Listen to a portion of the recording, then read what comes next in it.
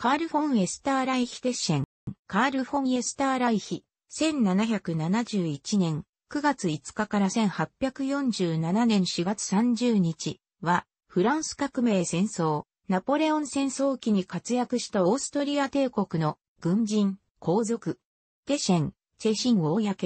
ハプスブルク家の神聖ローマ皇帝レオポルト2世とその皇后、マリア・ルドビカの第三子、神聖ローマ皇帝フランツ2世、オーストリア皇帝としては、フランツ1世の弟、カール大公として知られる。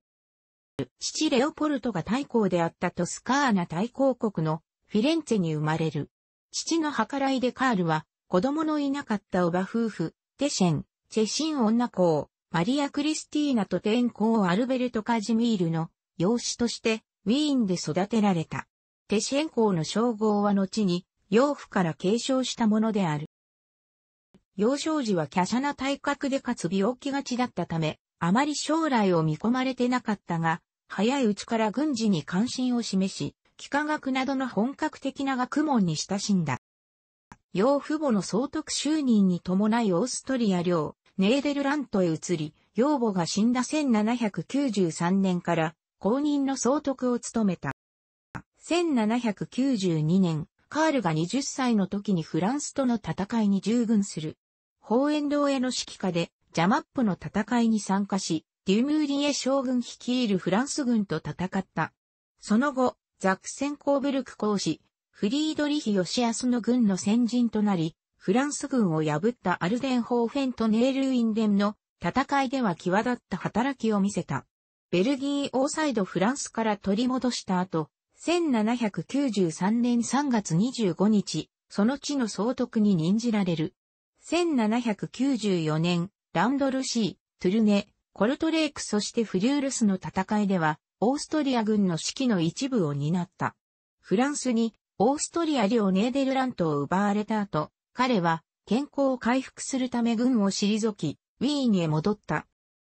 1796年、新生ローマ帝国陸軍元帥の肩書きのもと、ライン方面軍司令官として戦場に復帰する。そしてジュールダン将軍率いるフランス軍に対し、ノイマルクとダイニング、アンベルクにて連勝を重ね、さらにはミュンヘンまで進軍してきた、モロー将軍をも撤退に追い込んだ。フランス軍は、ライン側の西岸まで押しやられ、かろうじて、ユナングとケールの間の橋を保持するのみだったが、それさえも翌年冬には、カール大公によって攻撃され奪われる。このように彼の働きによって、オーストリア軍のドイツ方面での戦況は優位だったが、イタリアではナポレオン率いるフランス軍が、あらゆる場所で戦勝を重ねており、首都ウィーンにも迫る勢いだった。それを食い止めるために、カール大公が派遣されると、ナポレオンは、カエサルの言葉を模して、これまで私は指揮官のいない軍隊と戦ってきたが、これからは軍隊のいない指揮官と戦わねばならないと述べたという。1797年4月18日、カール大公は、後のカンポフォルミオの和訳の前提となる、レオーベン条約の締結を余儀なくされ、その後しばらくの間、ボヘミア王国の総督を務めたが、ラシュタット会議が決裂したため再び戦場へ復帰すると、ライン川を渡って進軍してきた、ジュールダン率いるフランス軍を、オス派とシュトックア派で破った。しかし同盟国ロシアの指揮官たちとの意見対立は、彼の軍事作戦の成功を妨げた。ロシアのコルサコフ将軍が、チューリッヒの戦いで、マッセナ将軍のフラス軍に敗北すると、カール大公は再度ラインガー方面を防衛せねばならなかった。1800年3月、再び健康状態が悪化し、カール大公は指揮権をクレーに移譲すると、ボヘミアへ帰還した。ナポレオンがマレンゴに向け、アルプスを越え、モローがドイツ方面に進軍しており、帝国にとって脅威が迫りつつあったため、カール大公は十分に健康を回復できていなかったが軍務に復帰する。彼が結んだシュタヤーの停戦は、後のリュネビルの和訳の前提となる。カール大公の偉大なる戦果は大いに称賛され、神聖ローマ帝国宮廷顧問会議の軍事主席に任命される。また、ドイツ諸法からなる帝国会議は彼にドイツの救世主の称号を授けようとしたが、彼はそれらの栄転を受理しなかった。1805年、イタリアでオーストリア軍を率いてマッセナと対峙し、カルディエロの戦い、10月29日から30日で勝利するが大勢は変わらず、ナポレオンはウルム戦役で勝利するとウィーンに進むする。トスカーナ大公フェルディナンドがボヘミアへ早々に撤退し、またアウステルリッツの戦いでフランス軍に敗北したため、皇帝フランツ2世はプレスブルクの和訳12月25日締結を強いられた。カール大公は全オーストリア軍総帥並びに陸軍大臣に任命され、その体験をもってして帝国軍の再組織と予備軍並びに国民軍の強化に取り組む。1808年、スペイン国王カルロス4世が退位させられた後、カタルーニャとアラゴンの両地方はカール大公をスペインと西インドの王座に召請し、移送のためにイギリス軍艦隊もトリエステへ派遣されたが、彼はシャイと共にそれを断った。1809年の戦役では、カール大公はバイエルンで弟のヨハン大公と兄のフェルディナント大公は、それぞれイタリアとポーランドで軍を指揮した。カールはラティスボンに急進したが、ナポレオンがタン、アーベンスベルク、ランツフート、エックミュール、そしてラティスボンで連勝したため、交代を強いられる。しかし新たに補強を得たことで、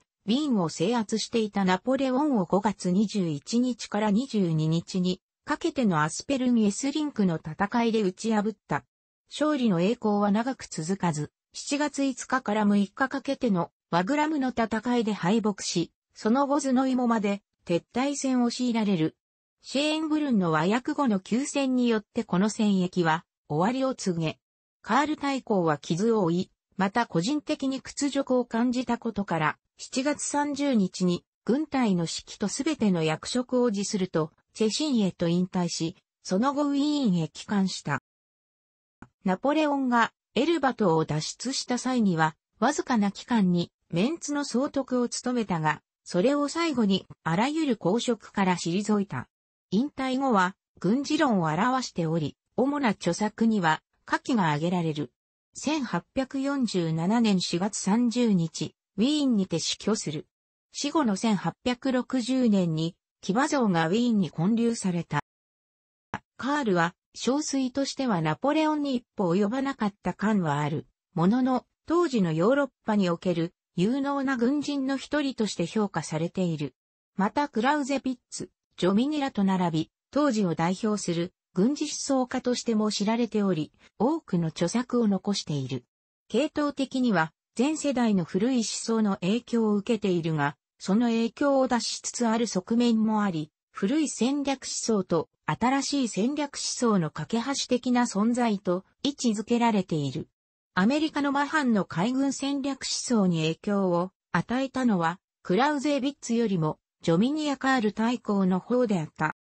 カール大公の戦略論では慎重であることを重大事として説いており、万難を排して守備に努める傾向は、受けてきた教育による変更とも言えるが、彼は叱るべき状況が来たとみて、取れるまでは実行に移さなかった。それと同時に、極めて攻撃的な戦略を練って実現することも可能であり、傭兵の戦術的スキル、例えば、ビルツブルグ・チューリッヒで見せたような広い範囲での反抗作戦やアスペルミエスリンクやワグラムにおける大軍の指揮は確実に彼が生きた時代の上位の指揮官たちに引けを取ることはない。1796年の戦役は申し分のない出来とみなされる。1809年に敗北を喫した要因の一部はフランスとその同盟軍の圧倒的な兵力の優位性であり、また一部は新たに再組織されたばかりのオートリア軍の状態による。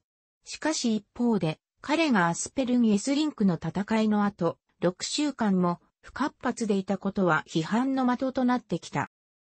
軍事理論家としてのカールは、標法の進化の過程の中で重要な存在と位置づけられており、その教えの重みは当然のごとく大きい。しかしその競技は、1806年時点においてさえ、古風であるとみなされていた。慎重さと戦略拠点の重要性は彼の学説において主眼を置かれている。彼の地理的戦略の堅実さは原則から決して離れないという規範意識から来るものだろう。彼は軍が完全に安全な状況に置かれているならば危険を冒すことはないと繰り返し助言してるが、このルールを無視して1796年の戦役では輝かしい戦果を上げている。戦略拠点はそのものの国の運命を決するもので、憔悴は常に主に神経を配らねばならないと彼は敵軍を打ち負かすことよりも重視して述べている。カール大公の著作の編集者たちは良い仕事をしているが、クラウゼビッツのカール大公は敵の殲滅よりも保全に価値を置いているとの日に対して説得力のある公弁ができていない。戦術に関する著作においてもこの精神は顕著に見える。彼にとって予備兵の存在は退却を援護するものとして意図されている。これらの古風な原則がもたらす弊害は、1866年の広潮戦争中のケーニヒグレーツヨーゼフシュタットの戦いで、オーストリア軍が戦略拠点を堅持して、自軍を分割して、プロイセン軍に攻撃を仕掛け、結果敗北したことに明示される。この奇妙な作戦は、ウィーンの中枢にて1859年の戦役のために考案され、同年の全くもって理解しがたいモンテベロの戦いでも実行された。カール大公の理論と実践は、軍事史の中で最も不思議なコントラストを描いている。字には非現実的、時には郵送、卓越したスキルと鮮やかな動きでもってして、彼は長きにわたってナポレオンの最も強固な対抗者となった。ウィーン会議が終わった後の1815年9月、ナッサウバイルブルク公フリードリヒビルヘルムの娘、ヘンリエッテ・アレクサンドリーネとウィーンで結婚した。二人の間には五男二女が生まれた。楽しくご覧になりましたら、購読と良いです。クリックしてください。